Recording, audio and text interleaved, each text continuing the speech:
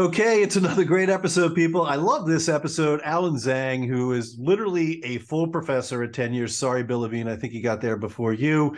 Uh, University of California, San Francisco. He is one of these unique sports medicine docs that operates on all the large volume joints. So he does hip arthroscopy, shoulder, as well as knee as well. He's incredibly um, uh, well thought of across the international community as well. Uh, he's a mentor. He does amazing research. Uh, he does a great job with social media.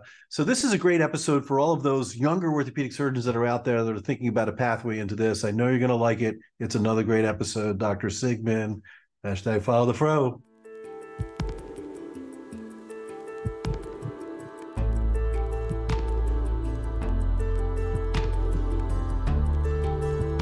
From Medical Media, this is The Ortho Show.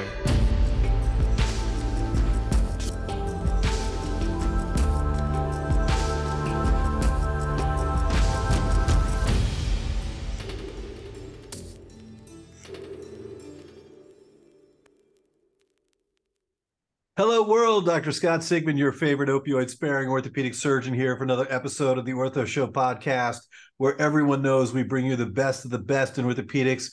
Our mission is to democratize orthopedics, make it available for anyone that wants to listen and understand. And we share the remarkable stories of some of the most amazing people in orthopedics. And today is no exception. We have Dr. Alan Zhang. This is going to take me a while, Alan. I got to get through all of your titles. So give me a second here. So, professor in residence we're going to have to, you'll have to explain that to us. Director of the Hip Preservation Center, Medical Director of UCSF Orthopedic Institute, the Director of the Sports Medicine and Shoulder Fellowship of the University of California, San Francisco Medical School, the consummate underachiever, Dr. Zhang. How are you, brother? I'm good. I'm good. Thanks so much for having me, Scott. And yes, I've got a, a lot of flares on my vest, so happy to go through some of those things. But uh, it's been uh, busy here, uh, keeping up with all the work, but happy to uh, help as much as I can with uh, with our initiatives. Oh, you're awesome. You know, you're like part of this new breed, you know, the Rachel Franks, the Seth Shermans of the world that they're only in their orthopedic, you know, life maybe 10 years, but yet you know, are sought after for all of the things and great things that you do. So here's what we do. We start off, always like to start the show off with with where it all started for you. I know that you you you speak Cantonese and Mandarin. So where were you born? What were your parents doing? Who was the first doctor? We love hearing all that stuff. Sure, sure. So, yeah, my family's uh, originally from uh, China. So, uh, we uh, moved here when I was uh, a very at a very young age, and then we moved right to uh, Houston, Texas. So, essentially, I grew up in in Houston. That's my hometown, and I went to all of my school from you know elementary school through middle school, high school, all all in the heart of Texas in Houston. Uh, and then when I went to college, I ended up staying uh, locally in Houston at Rice University, and it was actually just like 15 uh, minutes away from where my house was at the time. Uh, so essentially, I, I grew up and stayed in Houston uh, all the way through the the end of college. So is it is this the classic Chinese immigrant story of your parents looked at you at the age of like six months and said, "You have a choice. You can be a doctor." Uh, pretty, yeah, no, pretty much. That's pretty much exactly how it went. it's all right. We can fess up because you're not, you know, we we're, we're there's a lot of uh, a lot of that, those those stories that are very common, and uh, our parents wanting us to succeed and be more successful than them, and certainly being a physician is a way to create uh, that professional success for sure. Uh, so yeah, so you stayed in Houston, and uh, Rice, you were you were geeking it out at Rice here, Alan. I'm going to call you out on this, okay? You're summa cum laude in a double major of biochem and cell biology. What was the story with that?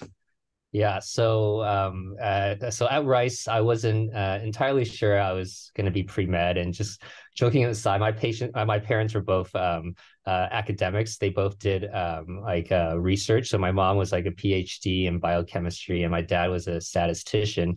Uh, so they just, you know, because of that, I just naturally gravitated towards the scientific field. So they never told me they wanted me to be a doctor or anything, but it's just kind of a, a natural uh, kind of inclination towards the sciences. So when I went into college, uh, I studied uh, uh biochemistry and then also uh, uh, some of the more cellular biology stuff that I did was more along with the research. And then you can kind of double major in both of those disciplines and do some kind of like senior thesis work to get the double major. So I kind of did that.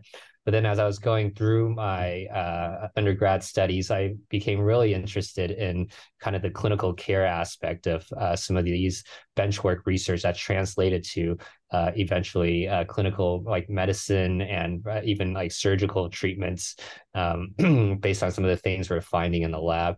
Uh, so that's what gravitated me towards the the medical field, and I decided to go into med school when I was essentially when I was my junior year of college is when I made that decision. So you graduated from the microscope in those cells and then decided we're going to look at the entire body experience, which I think is terrific because that you know you take that sort of a background that that uh, cellular biology, uh, the scientific background, and then figure out a way to apply that you know to the entire human being, uh, and then really pro- you know provide science to the things that we do in orthopedics, which has never been our strong point, right? Most of the things we do in orthopedics, we've tried two or three times, it fails, and then we try it again the same way and expect a different result. But you know, so it's nice to have a fresh look into the process. So your junior year, you finally figured it out. Okay, we're going to go to medical school. We're going to talk to people for a living, and um, and so so orthopedics was that. Where did that vision come from? Yeah, so that didn't come in until much later. So uh, when I was uh, looking at uh, med schools, like my top, my final two choices were either to stay in Texas and go to Baylor College of Medicine right across the street from Rice, or come out to California and go to uh, UC San Diego for med school. And it was really kind of like an uh, 11th hour decision. And I, at that point, I, you know, 20, what 21 22 years old i said it's time to you know leave home yeah and get a little farther away from my parents than 15 minutes away so then uh, that's when i kind of uh, branched out and uh, decided to go to med school in california and then uh, and that was probably one of the best decisions I ever made because just you know being completely uh, finally separate from the family like you can go home on Sunday nights to do your laundry if you needed to. Uh, at that point, I was actually uh, fully independent, so to speak, uh, in med school, and that really allowed me to kind of discover myself and discover some of my interests. Uh, and then through that, I did a lot of various research programs based on my previous experiences. And I, I got in a lab um, during the summer of after my first year of med school in an orthopedic biochem- uh, biomechanics lab, uh, looking at uh, various pull-out um, uh, mechanics for the ACL grafts. And that's what really sparked my interest in orthopedics. Yeah. Wonderful. So basically, not that there's anything wrong with Houston, uh, but you know, you land in San Diego, and then which is obviously one of the best places on the planet for anyone that wants to live of temperatures of 70 degrees right?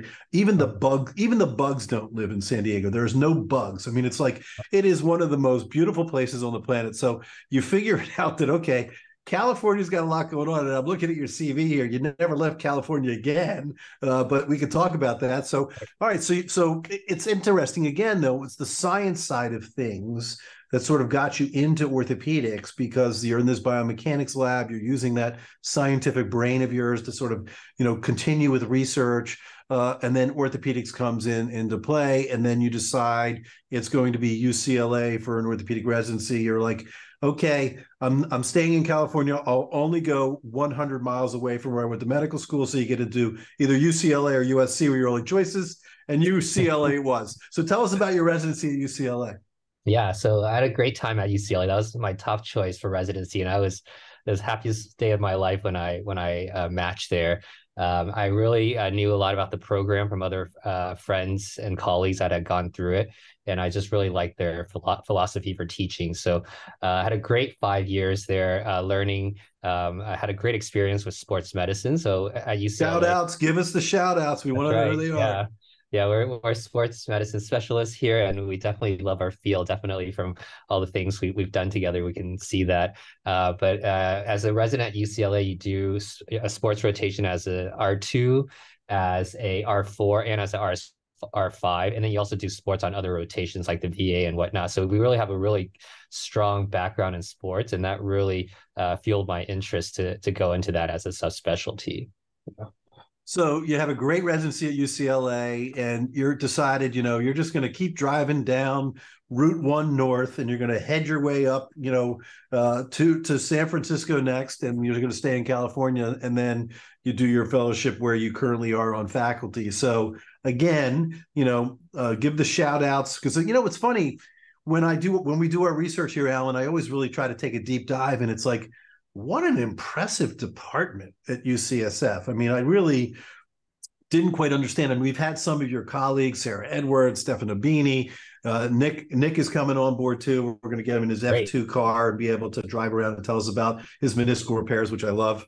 Perfect. But I mean, you guys do have a really great department. So, so where was the draw for the sports medicine fellowship, and then being able to stay yeah. on staff? It's such a. It's not easy to stay on staff at, at, at these major hospitals in, in California. Yeah, so I, I was also super ecstatic when I uh, matched at UCSF for my fellowship. That was also my top choice. And back then, it was still like a smaller fellowship because they only took one fellow a year. Uh, and back then, my I had three like full time attendings. It was uh, Ben Ma, who was the chief, and then Christina Allen, uh, and then Brian Feeley. So it was me working with three of them. And what really drew me to the fellowship was that they did a, lot of high volume complex sports cases like revision ACLs, complex shoulders, and they also did uh, open shoulder surgeries, like a lot of shoulder arthroplasty as well, which at that time I was very interested in. The one thing this program didn't do a lot of was hip arthroscopy. And when I was going uh, looking for fellowships, I wasn't that interested in it back then in 2013, 2012, 2013. 2015, arthroscopy is not as popular as it is now. It's still growing, but back then it wasn't like a uh, like a, a, primary objective to seek out that training. Um, so uh, at that time, I, I went ahead and uh, did the, my training with the uh, with the, the three of them here, uh, and then at the end of uh, my fellowship uh, or towards the end, they they were looking to hire on um, a new faculty member, uh, and they uh, had uh, apparently they liked me that year after having worked with me as well, so I could help promote the clinical uh, research uh, for for the division. But the one caveat was, hey, we want to hire you, but we need somebody to do hip arthroscopy. and of course, that's the one thing that during my fellowship I didn't do a lot of. So uh, gladly I I said, oh, gladly I I can I can learn that," uh, and definitely not not as easy as you would have thought. So so I spent a lot of time in my early career seeking out additional training, doing courses, uh, doing observerships, uh, doing a lot of labs to just make sure um, I was comfortable with the surgery. And then uh, being uh, like a really busy department uh, and not having somebody specialized in that, pretty much right when I started practice, uh, my clinics were filled with like patients with hip injury. So I got to hit the ground running and kind of sink or sh- swim type of deal. and my practice really got busy with it. And once you're, you're busy doing something, it, it becomes a, a lot more natural, of course. Yeah, no, your story is very common to Mike Gerhardt. I know you know Mike well too, who's on the other side, yeah. on the south side of uh, of California, still down at Cedar Sinai now. And it was the same thing. He had an opportunity to join SMOG in Santa Monica, but they were like, "We need you to learn, you know, how to do, you know, hip arthroscopy." And he took that time, did exactly what you did, did some mentorships and, and externships and observing and all that that went with it. And so, you know, you're part of that rare breed where you know you're doing all the large volume joints you know with, with arthroscopic intervention. That's very rare. I mean we got a lot of people that do knee and shoulder then we've got a lot of people that just do shoulder. Then we've got a bunch of hip preservationists. And then we've got Alan, who's like, I'm going to scope your hip. I'm going to scope your shoulder. I'm going to scope your knee. And I can do it all. Uh, and that's wonderful. And now, you know, you're in practice for 10 years and all of your fellows and residents are learning about hip arthroscopy through the, through the time you've had. And, you know, I, am laughing when you said, but, you know, when I got back and I started and I opened up my shingle and did my, and all these hip patients kept coming, I'm like, there's a lot of Meshuggah hip patients out there. And as you know, the number one reason to have a good outcome from hip arthroscopy is your indications, right? You yes. have to have the appropriate indications. Absolutely. I agree that 100%. Yes. Yeah, so for sure. All right. So, and so then it was sort of, it seems like academics was just the way you were going to go. I mean, it didn't seem like there was an opportunity or a thought for you in private practice. And obviously, you know, you're absolutely crushing it in that world. You're 10 years in and you've worked your what is this professor in residence? I could not figure that out. Explain that to us please. Yeah so uh, for uh, ucsf and i think all of the university of california systems are, are similar. There's different tracks when you're a faculty member. So uh, there is like a health science uh, professorship which is kind of like you're uh, doing a pretty much mostly clinical work and not much like academic work. So you're not really expected to do much teaching or research. So you're basically just on the clinical track where you're practicing as if you're in um, uh, private practice. Um, and there's not a lot of other expectations for that. And then you've got the next one for us, it's called the clinical science track. So then those titles would be like clinical professor of orthopedics or clinical associate professor. So then that's where you're kind of half and half, where you uh, are expected to do a lot a lot of clinical work and drive clinical uh, volume, uh, but you also do uh, teach uh, as well, and you also do research. There's just like a maybe a little lower bar for promotion uh, on that ladder uh, kind of track. And then the in residence track is uh, kind of like almost like the tenure track. We don't have a tenure track anymore at UC. So, uh, but the in residence is like the uh, full academic track where you have pretty rigorous standards of advancing based on your uh, teaching, your evaluations, your research, your publications, grants, all of those things. So the more uh, purely academic uh, positions are going to be like the in residence pathway. All right. So we're going to have to, you know, Grace and I are going to have to go back and, and look at the footage on this one. But 10 years in, you're basically a full professor, correct? Professor yeah. in residence, but you are a full professor. So we're going to go back. I know Bill's Bill Levine's listening, who is you know one of our dear friends. I, I think you may have just beaten Bill by a year, but we're going to have to go back and check the bean footage on that one. So I'm sure Bill will be texting me as soon as this comes out to let me know for for sure. All right, so it's academics the whole way for you, and you've really excelled at it. And one of the biggest parts of of being in academics is the ability to educate and to share right? And I think that uh, your spirit of education is palpable. Uh, you you care you know tremendously about your fellows and your residents and the medical students. And one of the things that stuck out to the most for me on your CV was you you actually list your mentees on your CV of the people that you have helped along in their way, and that's tremendous. So where did that come from? Was that something that you had learned from someone else? Where where did this this desire to pass on your knowledge come from?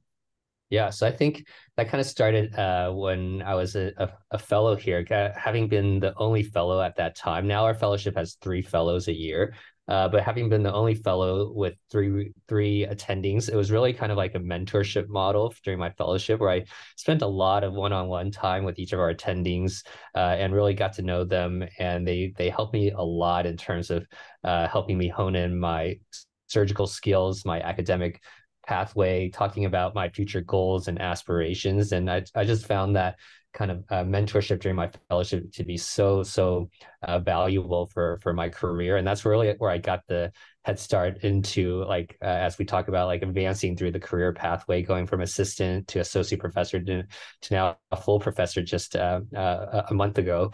Uh, so we kind of got on the show right right after uh, Mazel tov we love it. That's what we do at the ortho show. We create these things for you so you have the ability to share it with everyone. Your mother yeah. and dad your mother and father are so proud of you for sure Perfect. So yeah, so for my uh, fellowship is where I kind of learn the value of good mentorship for the next generation of surgeons. So we really take our time, even now our, uh, that our program has grown a lot, to uh, make sure we provide that mentorship for all of our fellows and all of our residents who are interested in sports and who are seeking that mentorship for us from us. Yeah. That's it's really wonderful and commend you completely. That's one of our favorite words on the Ortho Show is mentor. Uh, as we talk to so many amazing orthopedic surgeons who have shared uh, the things that they've learned, and you still obviously have so much yet to learn in your experience of your practice Absolutely. as well. And I'm sure you still have your mentors that you keep in touch with, and as we all do, even for for me as well in my clinical practice. The other thing that you're crushing crushing is research. So I'm on the social media board for the Journal of Arthroscopy. So I, I have the responsibility of a bunch of times during the year posting the articles that come through the Journal of Arthroscopy. And and like, dude, I'm like, I post like one of your articles like every week. it's, like, it's like it's like literally we have to do you know me and Kyle Kunze who's uh who's the chief resident at HSS and big shout out to Kyle he's uh, doing awesome. He's do, getting ready to do a sports medicine fellowship. So we got to tell he wants to go to Rush. So we got to talk to Brian Cole and Jorge and Nick and make sure that we get him a spot there. But he and I every week get together. We do these things every five weeks, and I'm like, okay, there's another Zag. Let's get it out there. You know, it's right. uh, really impressive. So so the drive for research becomes part of academics, but it's also part of the teaching process as well, right? Working one on one with your fellows, and hopefully there's some medical students that jump on early for their career as well. Yes, yeah. So especially in the summertime, like right now, we have a lot of summer medical students. Just like when I did my first ortho project between first and second year of med school, there's a, a great opportunity for med students to get involved. So right now, I'm I'm working with three different med students this summer on three different projects, uh, and those are uh, uh, uh very interesting projects because the med students uh, sometimes they have a very different way of looking at things. That you know we look at certain things uh, things a certain way from our clinical experience and then they'll come in and they'll ask like why do you do it that way? Well it's because oh, oh actually i'm not sure why. Let's look into that.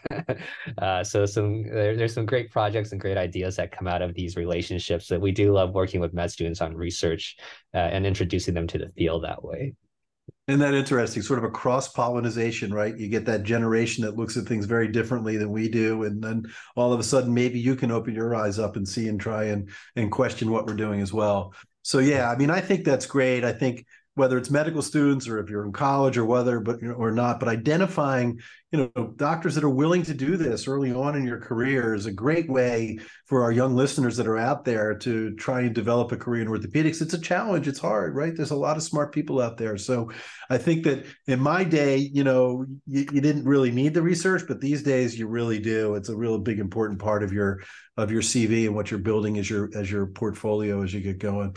All right, so let's talk a little bit about, you know, you and I do a lot of the same stuff. We've done a lot of uh, cool work together with uh, professional education and and for industry sponsorship as well. But let's talk about hip preserve. That's like the new word. It's like it's not just hip scopes. You know, I'm a hip preservationist. So, what does that mean to you? And explain that to our audience if they're trying to identify a way so that they don't get metal in their hip, if there's any way. Yeah, yeah. I think um, what we've kind of grown the field to be is uh, hip preservation, for one, because um, a lot of the degenerative changes we see in the hip are irreversible. There's not a lot of good treatments for cartilage injury. So, you know, in the knee, we've got our cartilage uh, transplants, our uh, matrices, and and and whatnot.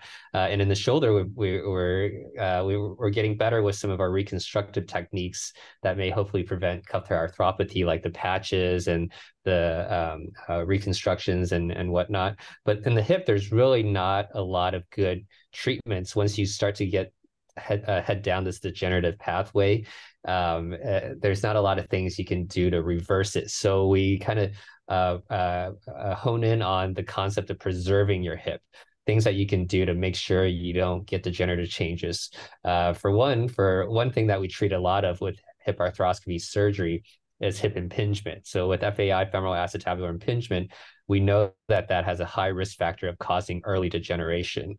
Um, so one of the things we're trying to research actively is whether when we do these treatments for our athletes, um, early rather earlier rather than later for uh, getting rid of the impingement, repairing any tears in like the labrum, uh, if that is actually a hip preserving surgery uh, down the line. So there's some early evidence looking at that, um, uh, showing it to be promising, but we don't have like 50 year data on hip arthroscopy surgeries to to be able to uh, report that currently. You know, I, I, tell this story just about every time I get a hip preservation. So, Joe McCarthy and I in 1995 at the New England Baptist Hospital in Boston were scoping hips, and it was just like, dude, we got in. you know, uh-huh. We weren't really sure what we were going to do once we got in there because barely we could get the shaver and the camera in. But you know, it's amazing what you guys are doing now. And for our listeners, you know, femoral acetabular impingement, just think about sort of like the the ball and socket are banging into each other and so there's ways now where you can remove those sort of bone spurs that allows the hip to move better. You can repair the car, some of the ligaments around the hip area as well, all done minimally invasive with arthroscopic techniques that really are evolving tremendously. And I think that you know, I look at shoulder where we are now and the things that we're doing. I think in another 10 years and we'll be crazy doing good stuff in the hip joint as well. So let's talk a little bit again about one of my favorite subjects, and you do it really well. And you have a unique perspective on it, and that's social media. So, you know, for a professor at an academic institution to, to spend the time and the energy to put out entertaining social media to educate, you know, and to share the unique stories is wonderful. And you do a great job. And I really enjoy watching you. But I'm a little perplexed because you are like an Instagram wizard but yet I can't find you on LinkedIn. We all live on LinkedIn. Where's Alan? Like, I'm, we got to get Alan on LinkedIn. What's the deal, man? Talk to me. Yeah, so I mean, Instagram, I mean, you know, for my generation, I think it's not that hard to uh, get used to using it. We're all on our mobile devices pretty easily and uh, and it's pretty intuitive now uh, i'm not that good at some of the younger guys because just even last week uh, one of uh, our, our younger attendings was showing me how to like minimize text and shrink it. I had no idea. I was like, how do you make text smaller? Like, oh, just squish it with your fingers. I was like, squish oh. it. Come on, Alan, squish it.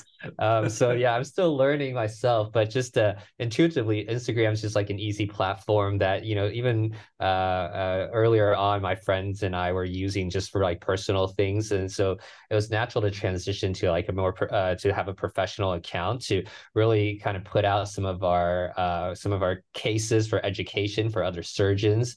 Also, it's been great for networking. I've had people, uh, uh, surgeons from all over the world, like uh, from Japan, just uh, communicate with me through uh, social media to talk about cases and uh, and approaches and methods. Uh, so I've really enjoyed um, uh, doing that part and, and growing that part of um, part of my I guess practice, so to speak, is just kind of networking and, and educating through that.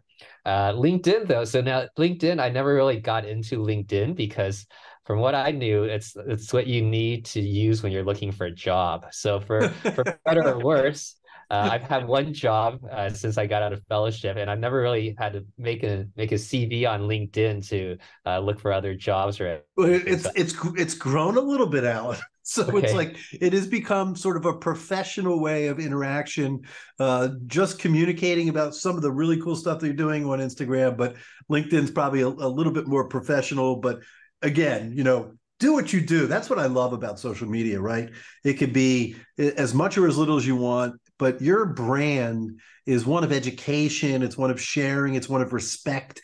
Love when you're always out with the crew with your fellows at a game or whatever and and sharing that experience with them and then that allows them to sort of grow as well. So kudos to you. Listen alan this was great. You know i have tremendous respect for you uh, as far as you know your drive your desire you know to to push the envelope to educate to be a mentor to use social media you know to to educate our, our, our listeners and the people that are out there as well and you're just doing great great work and it's just such a pleasure to have had you on the show today well, thank you so much for having me, Scott. Love talking to you. Love seeing you at all, all of our meetings and events. So uh, happy to uh, talk anytime. So we'll see you at OSET, I'm assuming. Going to see you in September in Boston? Uh, so uh, I don't think I'm going to go to that one, but, but the one after that for sure. All right, sounds good. We'll be there for sure. What a great interaction. Really appreciate you, Alan. This is Dr. Scott Sigman, hashtag follow the fro, host of the Ortho Show. Till next time.